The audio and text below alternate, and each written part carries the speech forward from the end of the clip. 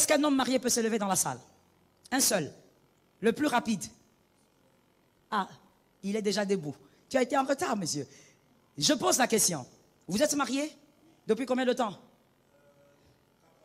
Ok. Attendez, laissez-lui réfléchir bien. Depuis quatre ans et demi. Alors je pose la question. Avez-vous déjà trompé votre femme? Pourquoi? Ok. Donc, quelle est la réponse que nous devons garder? C'est pourquoi vous ne trompez pas votre femme. Ok. Vous comptez la tromper dans l'avenir? Pourquoi? Ok. Merci, pasteur.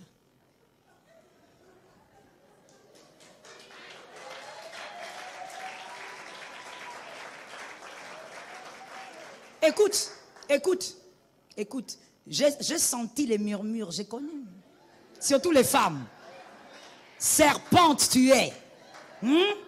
Il y a une femme dans son cœur qui a dit, hmm? attendons encore cinq ans. Écoute, hein, écoute, je ne veux pas d'abord aller dans ce dossier, laisse-moi d'abord continuer avec ce que je voulais faire comprendre. Tu sais, s'il ne trompe pas sa femme, parce qu'il, je reste dans sa réponse, parce qu'il aime Jésus, c'est qu'en réalité, il n'a pas peur de sa femme. Il a de l'amour pour Jésus. Et je veux dire à tout homme ici, peut-être que ça va choquer les femmes, la vérité c'est que vous ne devez pas être fidèle à vos femmes à cause de la peur d'elles. Parce que même si tu as peur de ta femme, malgré sa jalousie et sa colère, à moins qu'elle soit païenne, mais ne te tuera pas.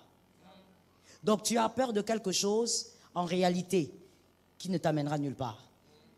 Mais il faudrait plutôt éviter l'infidélité par amour pour quelqu'un. L'amour pour qui? Pour Jésus. Pourquoi? Parce que blesser Jésus, c'est blesser ta destinée.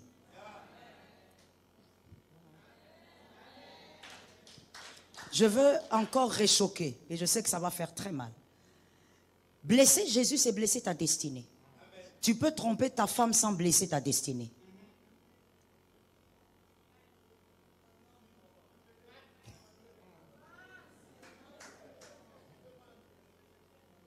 Je réchoque, c'est un choc que j'ai dit. Tout adultère ne détruit pas forcément la destinée de l'homme. Mais tout péché que vous commettez et qui lèse le Saint-Esprit a blessé votre destinée. Et donc, si le mal n'est pas à faire, ce mal n'est plus à faire par amour pour Jésus. Pourquoi tu ne vas pas en boîte J'aime Jésus, je préfère rester ailleurs avec lui. Et puis d'ailleurs, il y a trop de bruit là-bas. Qu'est-ce qu'on entend même là-bas, frère? Trop de bruit. Avec des lumières qui tapent comme ça, qui tapent. Pourquoi est-ce que tu n'as pas de l'alcool chez toi? Oh, je m'enivre du Saint-Esprit. Nous ne sommes plus sous la loi mosaïque où tu ne veux pas faire le mal parce que tu as peur que Dieu te frappe. Nous sommes sous la loi de l'amour. Je refuse de faire le mal parce que j'aime quelqu'un. OK? On change maintenant la question. Et je vais m'arrêter là. La même, question, mais je la transformer un peu. Bon, pasteur, toujours vous levez-vous. Il a dit qu'il est marié, hein, près de 4 ans. Lorsque vous, vous, vous, marchez avec votre femme en route, et vous voyez une belle femme là, en train de venir, calmons-nous. Je préférais choisir le pasteur, lui ne va pas me mentir. Toi, tu vois une belle femme, déjà elle est en train de venir, parce que vous les hommes, vous voyez les belles femmes déjà à des kilomètres. Vous faites semblant, mais vous les voyez, localisation. Alors quand elle vient, elle passe. Parce que quand elle vient, tu l'as vue. Que quelqu'un me dise, tu l'as vue. Maintenant, quand elle passe, pasteur, qu'est-ce qui fait à ce qu'avec votre femme, vous ne vous retournez pas comme ça? Non, une seule. Une seule. Ce qui fait seulement que vous êtes avec elle comme ça et vous ne vous retournez pas pour regarder cette femme, c'est quoi? Merci.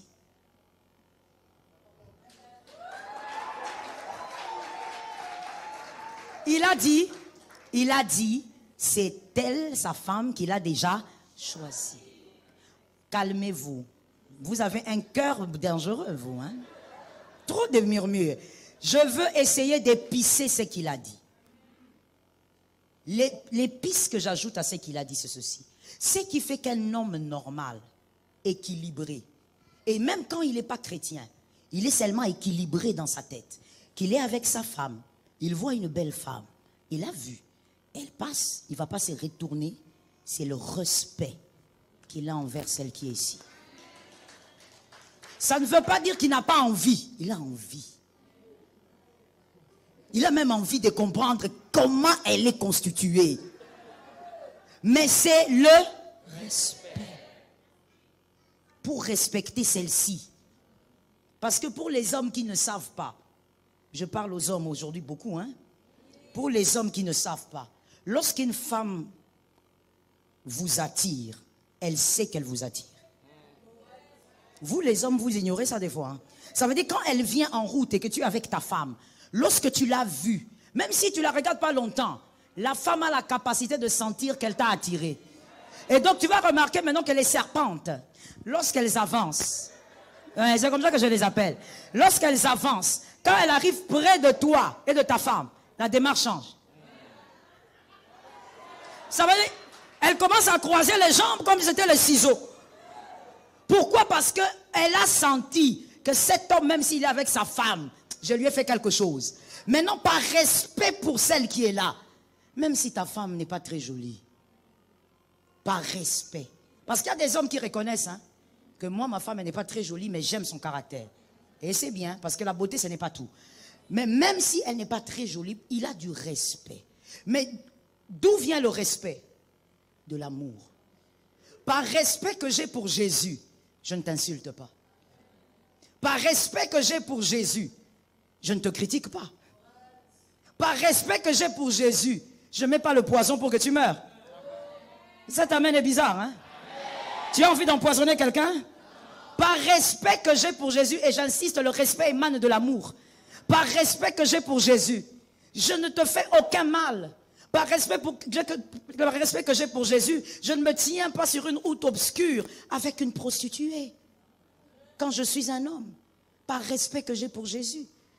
Je me rappelle d'un frère, c'est la sœur qui était venue confesser.